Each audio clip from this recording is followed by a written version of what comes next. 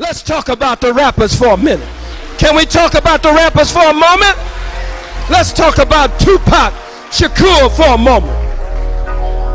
Tupac Shakur is a child of the 60s. Tupac Shakur, born out of the spirit of the revolution of the 60s. Tupac Shakur, fire in his bones. Huh? Boldness and rebellion in his blood. Born from his beautiful, bold Black Panther mama, Afeni. Sitting in the jail cell, a revolutionary woman carrying the fruit of life, marking the child in her womb, mocking the child with rebellion, mocking the child with insurrection, mocking the child with a spirit to not go along with what's been going on.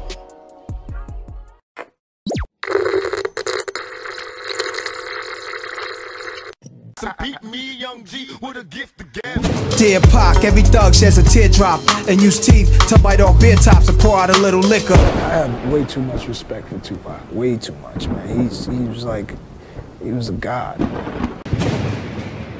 Only Gab can do it like this. Yo, YouTube, what up? It's your homie Gab. I'm in the building. And this is Makaveli Media. So Nas just recently in an interview was asked to give his top albums, top favorite albums of all times. And wouldn't you know, not a single mention of Tupac Shakur. Now, this is Nas's opinion. You have yours. He's allowed to have his. And I certainly have mine as well. The question to me is Did Nas simply leave Tupac out because maybe Tupac didn't record any of his favorite albums all times? Or maybe he forgot to mention Tupac? Or just maybe he snubbed and left Tupac out on purpose. But anyway, without further ado, here's Nas's favorite albums of all times. On this list, he has Miles Davis, Kind of Blue, John Coltrane, A Love Supreme, Bob James One, Stevie Wonders, Songs in the Key of Life, Marvin Gaye, Here My Dear, Michael Jackson, Thriller, Run DMC, King of Rock, Anita Baker, Rapture, Boogie Down Productions, Criminal Minded. Definitely one of my favorite albums all times. Along with that, Stevie Wonder's Songs in the Key of Life. Love those albums. Eric B. and Rakim Paid in Full, MC Shan, Down by Law, Big Daddy Kane, Long Live the King, Slick Rick, The Great Adventures of Slick Rick, Public Enemy, It Takes a Nation of Millions to Hold Us Back, Kool G Rap and DJ Polo, Want It Dead or Alive, Main Source, Breaking Atoms. Now let's stop there. Every single one of those albums I just named, I agree with. Love BDP, love Eric B. and Rakim, love MC Shan, love Big Daddy Kane, love Slick Rick, love Public Enemy, love Kool G Rap, and of course, Main Source. That was the group they gave Nas his start, you know, by basically putting him on the song Live at the Barbecue. The rest was history.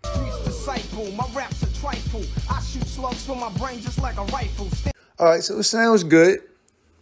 Then you got Ice Cube, Death Certificate, A Tribe Called Quest, The Low End Theory, Scarface, Mr. Scarface is back, NWA, Niggas for Life, Dr. Dre, The Chronic, Jay Z, Reasonable Doubt, The Notorious B.I.G., Life After Death, and Outkast. Now, here's my problem with this part of the list right here. Ice Cube, yeah. NWA, yeah. Outkast, yeah. I see Nas, you know, rocking to all of those different groups. Tribe Called Quest, definitely. I know how he feels about Q-Tip. Yeah, I feel the same way about Q-Tip. Dope. But Jay-Z and Biggie don't make me laugh. That's fake love. That's flat out phony.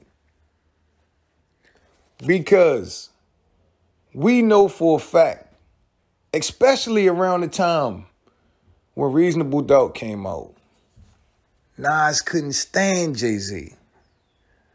Jay Z had been reaching out for years trying to get Nas to, you know, hop on a song with him, help make him official. Jay Z was up and coming, but he was a signed artist, but he didn't have the kind of respect or notoriety he was looking for. And he absolutely loved Nas's music. At this point in time, and wanted to work with Nas. Nas refused to work with him. That's what started the whole thing. Wanted to be on every last one of my classics. And we all know that Biggie and Nas was battling for the crown of New York City. Trying to outdo each other, sending subliminals to each other the whole time, and it was about to get ugly. It was about to get messy. Up until the time when Biggie passed unexpectedly. Or should I say, when he was murdered. They were just starting to trade blows, but like I said, it was headed to a different direction. After Nas did the firm remix, you know, and said what he said about the, taking the crown from the fake king of New York. I take the crown off the so-called king of the town and lock it down, lock it down. And Nas's brother Jungle got on the end of the track and said, you know what it is. And Lil' Cease said it himself that at this point, after Biggie heard this song, he was ready to come at Nas full throttle. This is jungle. Yo, big jungle, boy, what? And I don't want it. No more jabs. It is what it is. Now, could have Nas learned to appreciate Jay Z's music for what it is over time? and they squashed their beef and you know they became cordial became friends even became business partners. So could he go back and listen to jay-z's album with fresh ears and form a new opinion? Absolutely that's possible. Could nas have learned to see biggie as the brother he says biggie was and not the rival since biggie is no longer here nas is almost 30 years older and more mature? Could he go back and listen to Biggie's music and appreciate it for the genius of what it was? Of course. But my problem with the list is how can you not mention Tupac? how can you not mention Tupac? When forever, you know, you'll always be tied to Tupac in the history books in some way, shape, or form, either as a peer or as a foe or, you know, as a, a lyricist, as a, a revolutionary rapper, conscious MC. You know, at the time, Pac and Nas to me was the most important MCs that come from that era. Once again, my opinion. But given the history between you and Tupac, you would think Nas would at least give Tupac a mention. He could have been way down on his list, but but to leave him out at all is just to me wrong. And you got groups like Wu Tang Clan, who put out some great albums. The Nas are friends with these guys, and you know was joined at the hip to a degree with the Clan back in the mid '90s and early '90s. For him not to mention them is is kind of wild too, man. Because I thought Nas and Raekwon was tight. I thought Nas and Ghost was tight. Nas did work with the RZA. You know, no mention of Wu Tang Clan as well. Just strange, man. Now, you can't tell me that sometimes when some people say Tupac is better than Nas, that it doesn't bother Nas. I'm sure psychologically he may not really care, but deep down inside, somewhere, he does care. And I think this may have been a chance to take a shot at people that would say something like that. Because you can't tell me Nas knows Tupac's body of work better than probably some of us. He probably studies it a little bit more. But you got 2Pacalypse now. You got Strictly for My Niggas. You got the Thug Life album. You got Me Against the World. Then you had All Eyez on Me.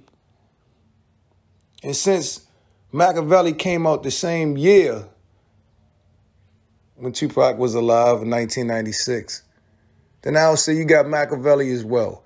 You mean to tell me that Nas couldn't have picked one of those albums, not one, to show Tupac a little bit of love? Come on. In my opinion, this was personal. But tell me what you think.